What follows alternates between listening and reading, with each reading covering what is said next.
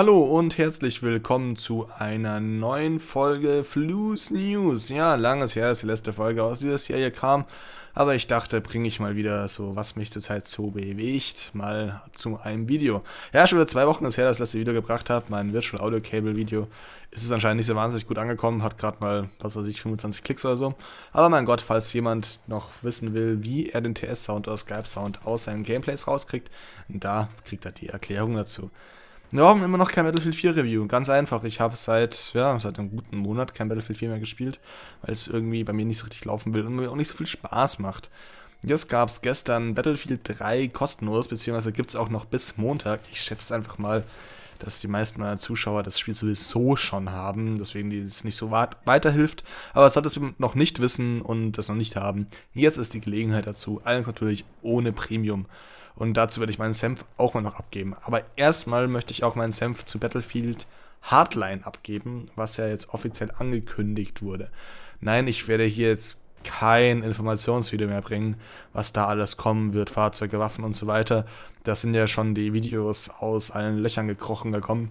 Und ja, das braucht man wirklich nicht noch eins. Also falls jemand noch nicht über Battlefield Hardline Bescheid wissen, um was es da geht, dann verweise ich einfach mal auf Max, Max FPS, äh, Porn for Gamers und so weiter, Meshed und alle möglichen haben da ein Video dazu gemacht. Und ja, da kann man das gut erklärt haben.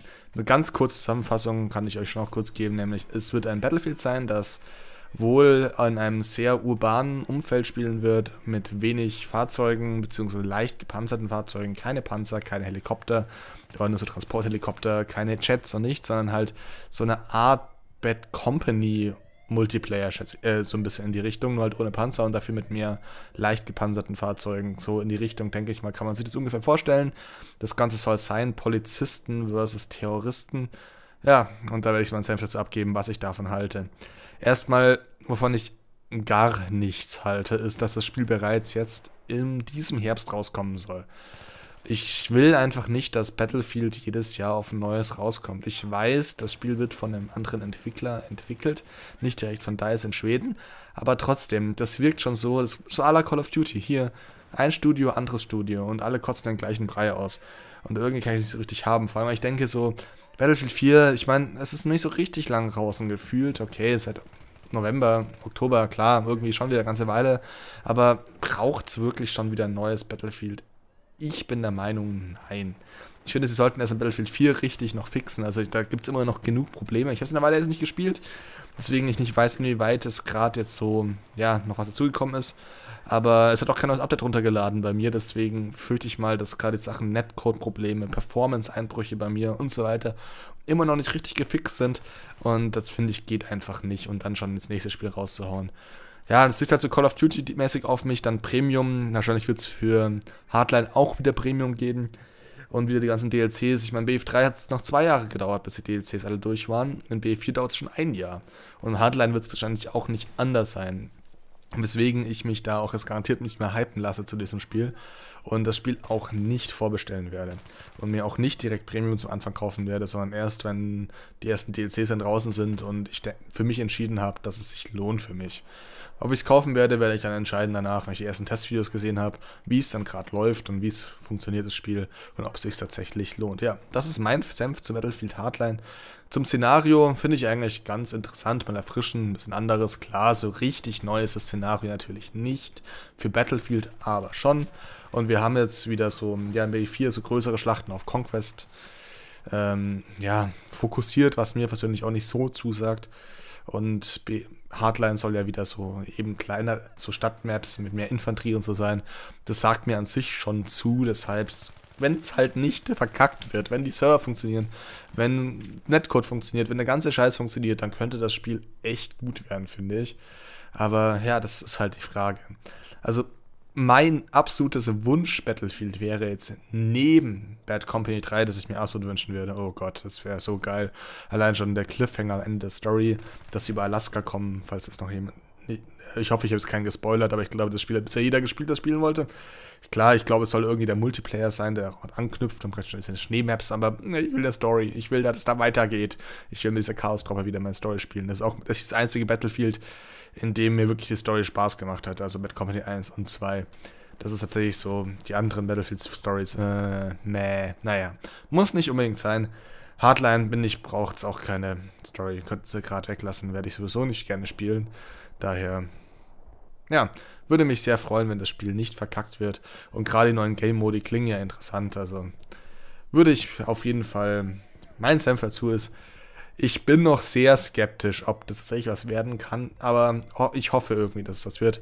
Aber ja, mein absolutes Lieblings-Battlefield, habe ich jetzt ja gar nicht gesagt, wäre einfach 1942 nur aufgelegt. Das ist mein Traum. Flugzeugträger fahren, Schlachtkreuzer fahren, U-Boote fahren, riesige Maps. Das wäre für mich, das, das wäre so geil. Einfach ein richtiges, schönes, oldschool Zweiter Weltkrieg Battlefield, ja, Zweiter Weltkrieg war mal ausgelutscht, dieses Thema. Aber inzwischen ist Modern Setting ausgelutscht und, und Zweiter Weltkrieg irgendwie nicht mehr. Deswegen, ich würde mir Zweiter Weltkrieg wünschen, wobei natürlich die Sache ist, mit den ganzen Customizen der Waffen und so, ist da natürlich ja nicht so gut möglich. Ja, so viel zu Battlefield Hardline. Ich weiß nicht, also, hm. bin gespannt. So, BF3, was halte ich eigentlich von diesen Gratisvergaben von Origin?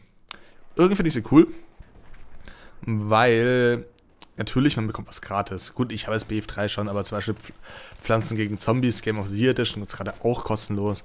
Und sowas zum Geschenken Gausch aber ins Maul. Aber es hat einen faden Beigeschmack, nämlich wenn man BF3 komplett kostenlos bekommt, dann zieht das Hacker magisch an.